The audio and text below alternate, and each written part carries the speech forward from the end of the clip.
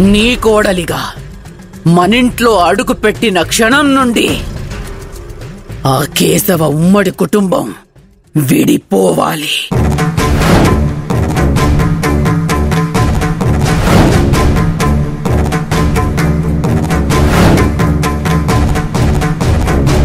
ఆ కుటుంబం విడిపోయినప్పుడు అప్పుడు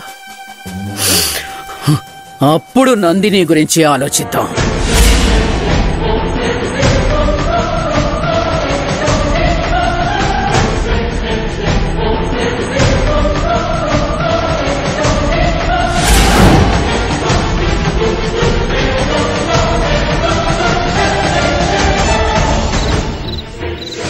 అత్తయ్య ఇక నుండి ఆ కేశవ కుటుంబం మీద ఉండే మీ పగను మన పగగా కొనసాగిస్తాను.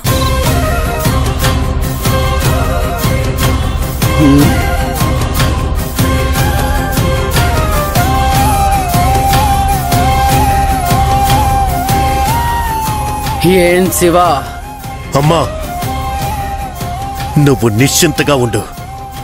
ఇన్నేళ్ళు నువ్వు ఒక్కదానివి పగను మోసావు.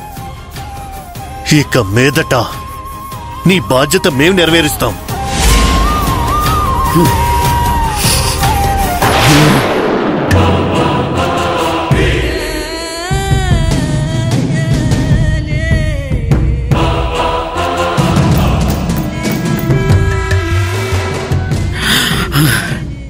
వృద్ధాప్యం బాధాకరంగా ఉంది. ఇది రాకుండా ఉంటే బాగుండేది.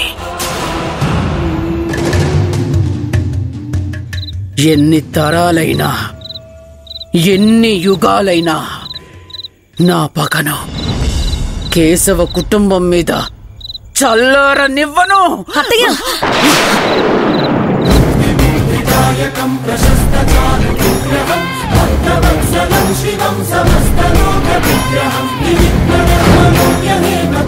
నీల సంగతి కాశీ కాపురాది నాథ కాలమైన అత్తయ్య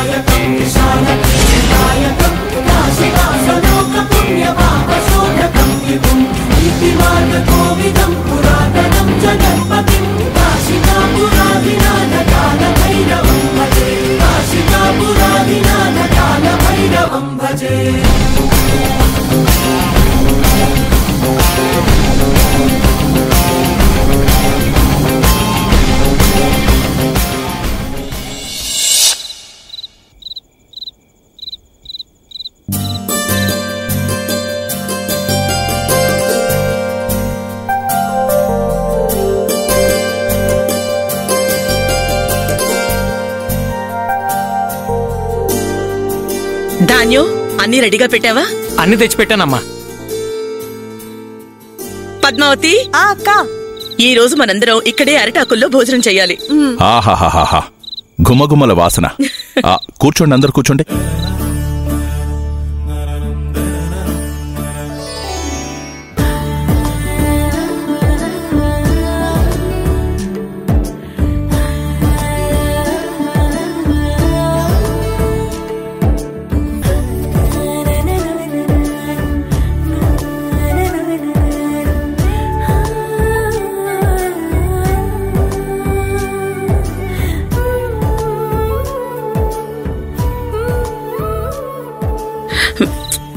వైష్ణవి. ఆ అక్క. మనకు కూడా వాళ్ళ పక్కనే ఆకులువే. మనం తినపోతే వాళ్ళు కూడా తినరు. సరే అక్క.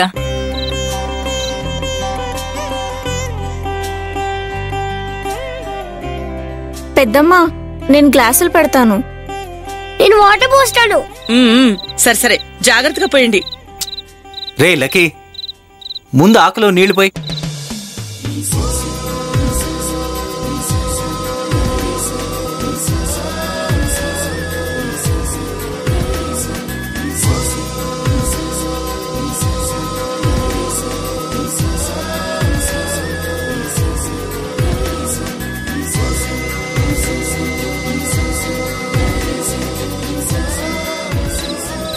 ఈరోజు నా బిడ్డ నిశ్చితార్థం జరిగిన సందర్భంగా మన ఫ్యామిలీ మొత్తం హ్యాపీగా ఆనందంగా అందరం కలిసి భోజనం చేస్తున్నాం.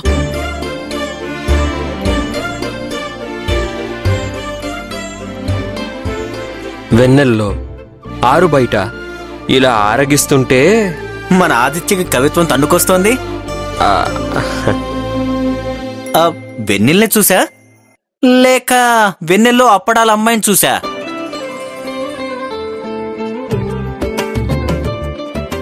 అన్నయ్య?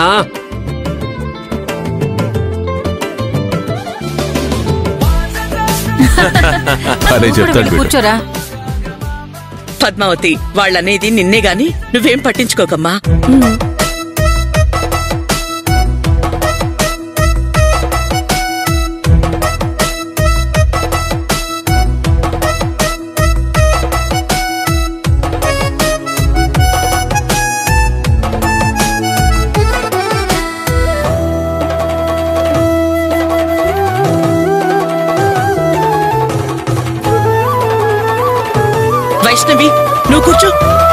అక్క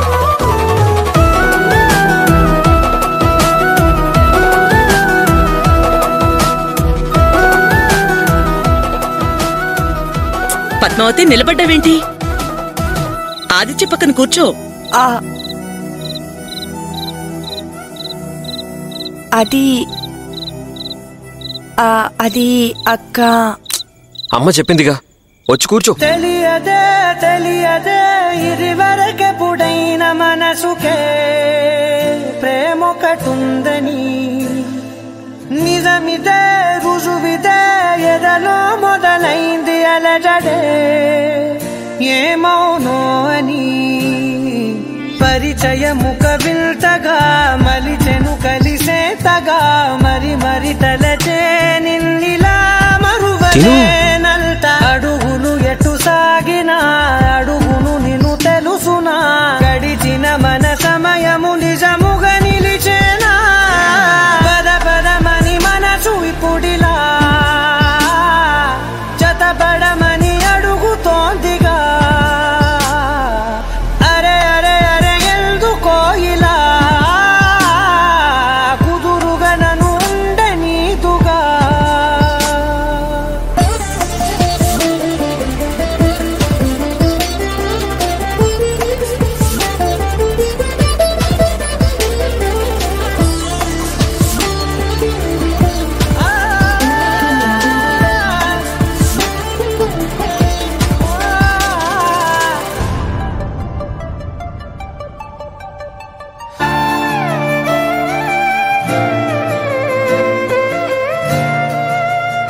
ఈ రోజు మనందరం కూర్చుని ఫోన్ చేస్తున్నాం.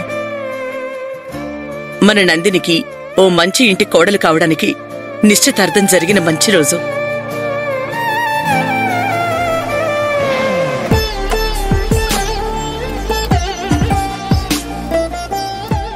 అది తనని ప్రేమించి ఇష్టపడిన వ్యక్తితోనే త్వరలోనే పెళ్ళి జరగబోతుందమ్మా.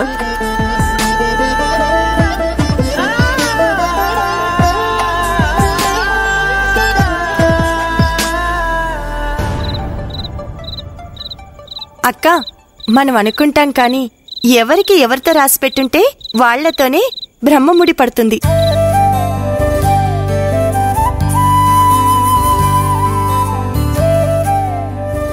అంతేలే నీకు కూడా మా ఇంటి కోడలుగా రాసి పెట్టుంది అందుకే ఆదిత్య పక్కన చోటు దొరికింది.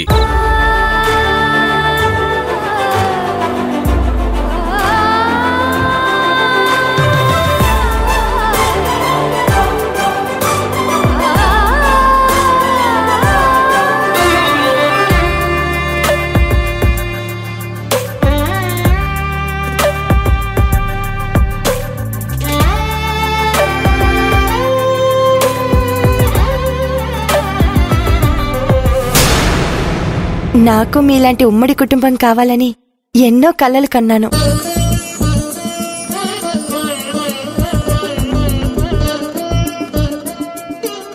అవును పద్మావతి.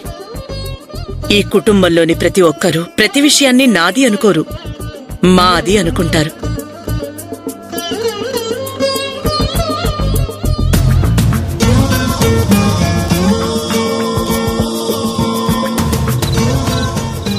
ఈ కుటుంబం ఉమ్మడిగా ఉందంటే అది ఇంటికొచ్చిన కోడళ్ళ వల్లే.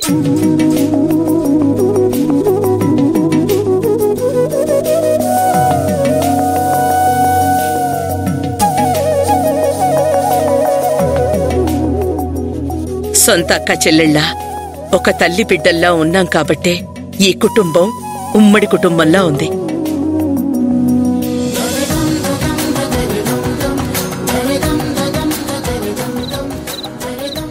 ఎప్పటికీ ఈ కుటుంబం ఇలాగే ఉండాలి.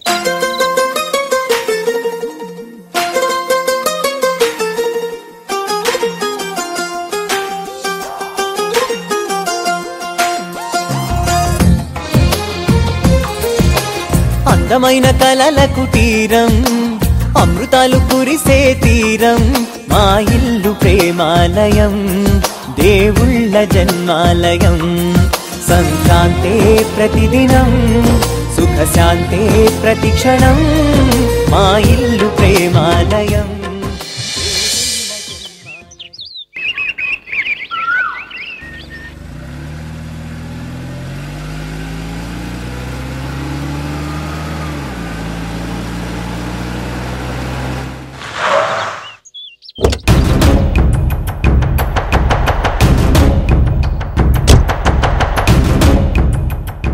నానమ్మా ఈరోజు నందినిని బయటికి తీసుకెళ్ళాలని ప్లాన్ చేశానా? తను నాతో బయటకు వచ్చింది అంటే నీకిచ్చిన మాట నిలబెట్టుకోవడం కోసం నేను నందిని విషయంలో అడ్వాన్స్ అవుతాను? అంటే తొందరపడతాను?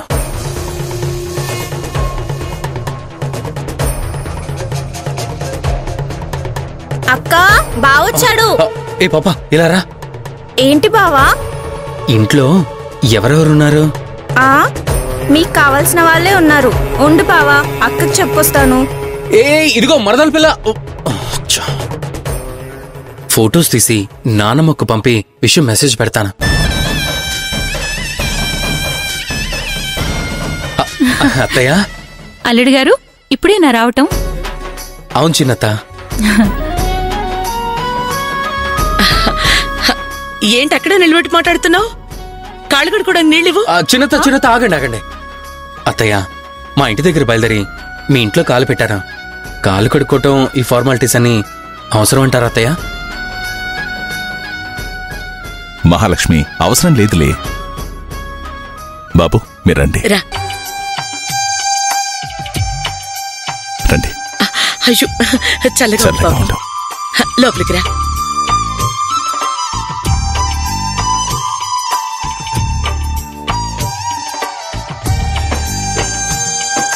ఇంటి దగ్గర అందరూ బాగున్నారుగా? బాగున్నారు మావయ్య. వస్తున్నట్టుగా కనీసం ఫోన్ అయినా చేయలేదు. మహాలక్ష్మి అన్నీ తెలుసుకుంటారులే. ఆ, అవునవునవును.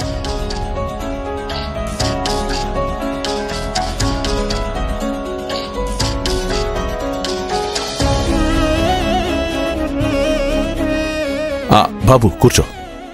వైష్ణవి నువ్వు వెళ్ళి కాఫీ అలాగే తీసుకురా. ఆ, అత్తయ్య. వద్దు. ఆ, నేను ఎందుకు వచ్చానంటే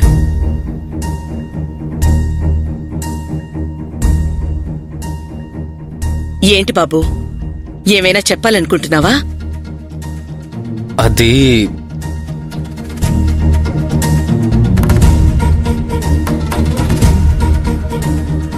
చెప్పు బాబు. పర్వాలేదు. అది మావయ్య గారు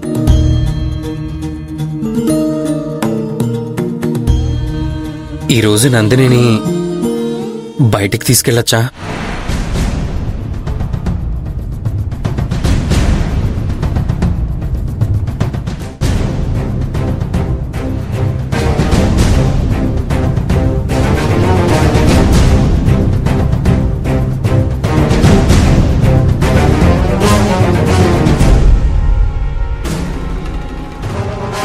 ఎందుకంటే మా పూర్వీకులకి మా ఇంట్లో ఒక ఆచారం ఉంది. నిశ్చితార్థం అయిన తర్వాత నా కాబోయే భార్యని మా ఊరు గుడికి తీసుకెళ్ళి పూజ చేయించుకుని రావాలి.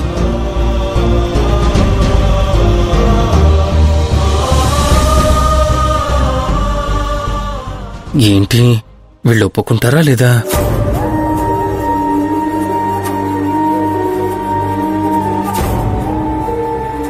మావయ్య గారు మీరు అనుమతి ఇస్తేనే నందినిని మా తాతగారు ఊరికి తీసుకెళ్ళి పూజ చేయించుకుని సాయంత్రం కల్లా ఇక్కడ ఉంటాం. తాందే ఉంది బాబు. మీ ఇద్దరికి నిశ్చితార్థం అయ్యింది. వెళ్ళొచ్చు. పైగా మీకున్న ఆచారం అంటుంటే కాదని ఎలా అంటాం? జాగ్రత్తగా వెళ్ళిరండి.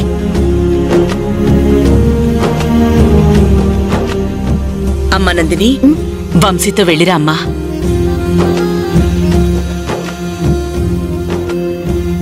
ఆ బాబు మధ్యలో తినడానికి స్వీట్స్ ఏమైనా పెట్టమంటారా? ఆ, ఏం వద్దత్తయ్య ఆ, అందరం కలిసి ఒక సెల్ఫీ దిగుదాం.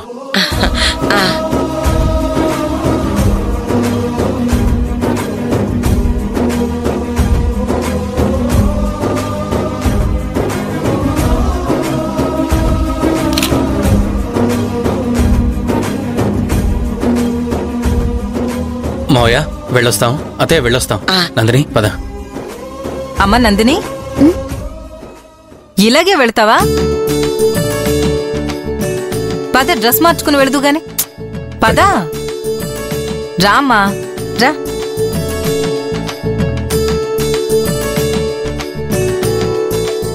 బాబు అప్పటిదాకా కూర్చో బాబు. నేను బయట వెయిట్ చేస్తానండి.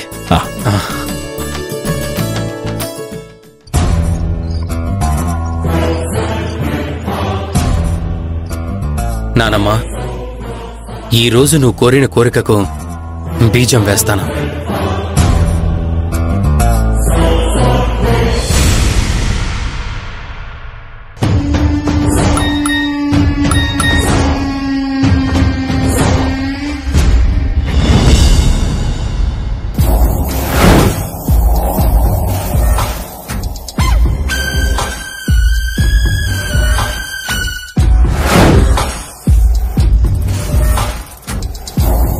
నానమ్మా.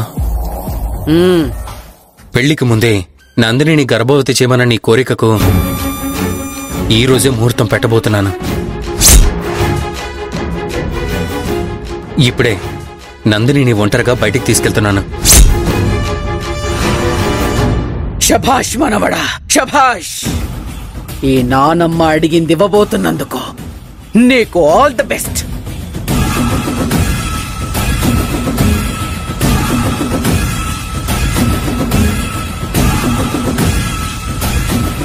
all the best.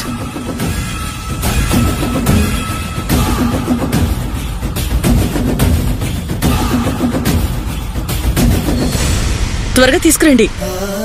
రా.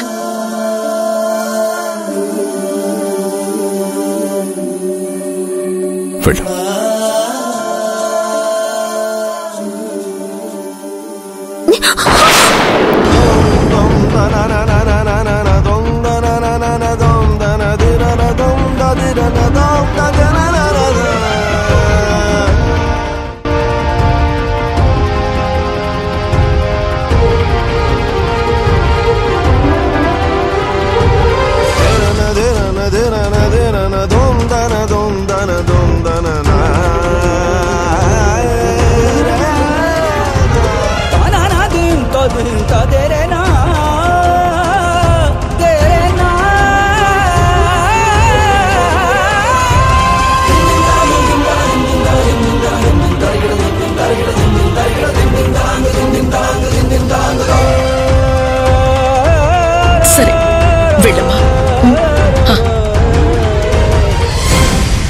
ராணேந்திரி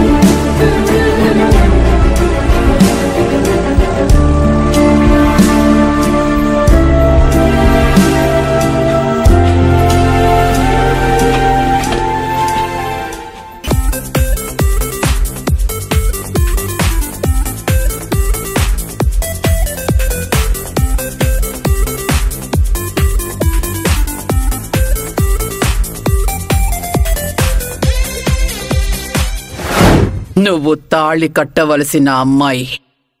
నీతో గర్భవతి అయ్యాకే మీరిద్దరూ పీటల మీద కూర్చోవాలి. తప్పకుండా నానమ్మా నీకిచ్చిన మాట నెరవేర్చే సమయం వచ్చింది. సారీ నందిని